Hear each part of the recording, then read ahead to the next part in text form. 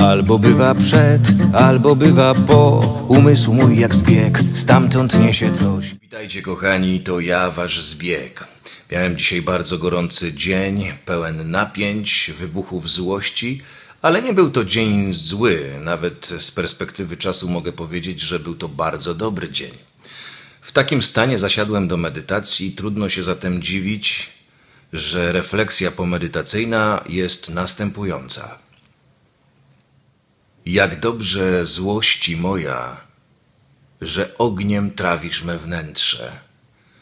Po wszystkich duszy pokojach płynie gorące powietrze. Wypalasz uczucia nijakie, co nazwać się nie potrafią. Wszystko staje się jakieś i chce się od nowa zacząć. Pozdrawiam Was serdecznie i nie bójcie się tej gorącej złości. Ona też jest dobra. Dobrego weekendu Wam życzę.